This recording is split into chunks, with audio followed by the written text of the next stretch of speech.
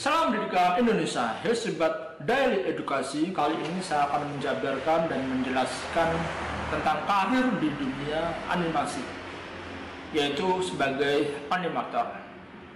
Perlu kita ketahui, pekerjaan animator adalah pekerjaan yang sudah umum ya, bukan dan pekerjaan animator banyak ditempatkan di studio-studio animasi, di perusahaan animasi, biasanya di kota-kota besar ataupun di luar negeri tentunya. Nah untuk animator ini untuk gaji bervariasi ya. Antara 4 sampai 7 juta bahkan bisa lebih lagi bisa 12 juta dan lain sebagainya tergantung perusahaan itu sendiri. Yang menerapkan patokannya seperti apa? Biasanya ada patokan untuk fresh graduate atau orang yang baru bekerja atau yang muda expert pastinya berbeda patokan ngajinya untuk minimal lulusannya bisa dari SMK sampai ke sarjana ya mungkin ya patokannya seperti itu dan tentunya harus memiliki sertifikat profesi animator sebagai dasar untuk bekerja di animasi tentunya. Nah animator itu sendiri itu apa? Animator adalah profesi yang berkaitan dengan seni menciptakan ragam gambar yang akan membentuk sebuah ilusi bergerak pada saat ditayangkan. Pekerjaan menjadi salah satu pekerjaan impian di dunia animasi. Seorang animator bisa kerja di industri film, televisi, iklan, olahraga, bahkan video game. Nah, dengan melihat cakupan beragam dan kompleksitas bidang animasi ini, maka animator perlu berkomitmen pada aspek tertentu. Jadi harus bisa memutuskan jenis animasi apa yang akan ditekuni nantinya. Untuk mengukur kompetensi dan kecakapanmu di bidang animasi, nah kalian bisa menampilkan hasil karya di portofolio kalian sebelum mendaftarnya. Dengan membuat portofolio, siapa tahu nanti uh, ada produser yang tertarik untuk merekrut kamu.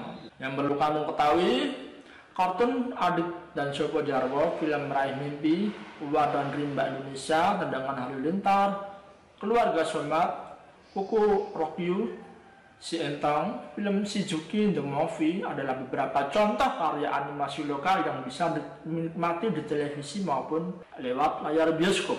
Yang kedua, industri animasi tanah air makin menggeliat seperti diberitakan dalam media. Sayangnya jika dibandingkan dengan perkembangan animasi luar negeri, industri animasi lokal masih jalan di tempat. Melansir harian Tempo, setidaknya ada lima langkah untuk mulai terjun di dunia animasi, yaitu memahami profesi animator, memilih studi yang paling sesuai, menyusun portofolio, mempelajari pasar, dan memulai untuk bekerja. Pemerintah Indonesia kini mendukung perkembangan industri animasi.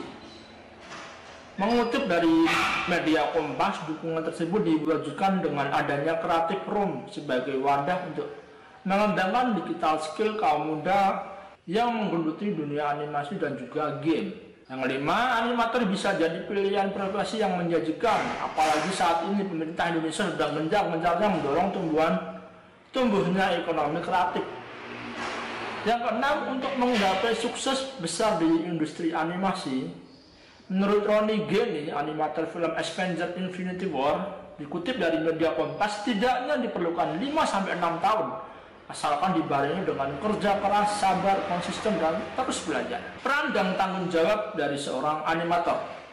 Yang utama adalah bekerja secara kreatif untuk menghasilkan esentisitas desain bekerja secara efektif dengan staf desain dan produksi lainnya, mampu menciptakan desain yang sempurna dengan memasukkan karya seni dan bahasa, menciptakan desain yang informatif dan komunikatif yang bisa menyentuh psikis audien, memposisikan diri sebagai pemecah masalah dalam kebuntuan komunikasi dan menciptakan komunikasi baru dalam bentuk visual. Selalu kreatif dan memiliki wawasan baru akan perkembangan audiens yang selalu berubah sewaktu-waktu. Pengetahuan dan keahlian yang harus dimiliki oleh seorang animator yaitu kemampuan berpikir kreatif, kemampuan menggambar dua dimensi dan tiga dimensi, kemampuan mendesain, kemampuan kerja tim, kemampuan artistik, pemahaman nirmana, pemahaman software, grafis. Berkarir sebagai animator bisa dimulai dengan menyusun portofolio. Perlahan ketika karyamu mulai dilirik perusahaan animasi, kamu bisa mencoba pekerjaan lepas. Lama-kelamaan kamu pun bisa bekerja di studio animasi yang lebih keren. Kalau sudah jadi animator handal, bukan nggak mungkin kamu bakal jadi production designer yang bertanggung jawab dalam pembuatan animasi. Tokoh inspiratif animator profesional kelas dunia yaitu yang sudah tidak asing namanya lagi yaitu Rini Sugianto. Nama Rini Sugianto mungkin masih terdengar asing di telinga masyarakat Indonesia, tapi ternyata ia begitu dikenal di dunia film internasional, apalagi yang bergenre animasi dan science fiction. Mengutip tempo debutnya di dunia film dimulai ketika ikut terlibat dalam penggarapan The Adventure of Tintin, The Secret of Unicorn, pada tahun 2011. Setelah itu ia kerap terlibat di proses kreatif termasuk film Ready Player One yang masuk nominasi Piala Oscar 2019. Ketertarikan Rini pada dunia animasi dimulai saat ia mempelajari bidang tiga dimensi ketika kuliah arsitektur. Ia pun lantas memutuskan untuk mendalami bidang animasi di Art University, San Francisco. Bukan perkara mudah baginya merintis karir sebagai animator. Ia sempat kesulitan mencari kerja sebelum akhirnya sebuah perusahaan game memberinya kesempatan untuk magang. Melansir media Kompas, Rini juga pernah menyisipi garapan animasi di berbagai beberapa studio game seperti Stanford Offset Studio dan Blur Studio. Selanjutnya ia bergabung dengan Beta Digital di tahun 2010. Meski telah berhasil menembus level internasional, Rene tidak terlalu berbangga hati atas pencapaiannya itu. Rene merasa industri animasi sangat kompetitif. Untuk itu, ia terus memacu diri agar tetap menghasilkan karya yang bagus. Menurut Rene, seperti yang dikutip di VOA Indonesia, untuk menjadi animator handal harus selalu memperhatikan detail, kerja keras terus berarti tentunya nggak boleh mudah menyerah dari ini kita bisa meladeni sosoknya yang tak kenal lelah untuk terus mengembangkan potensi diri agar bisa melahirkan karya-karya baru. Nah itu tadi prospek kerja di dunia animasi yaitu sebagai seorang animator. Semoga informasi yang saya sampaikan bermanfaat untuk kalian.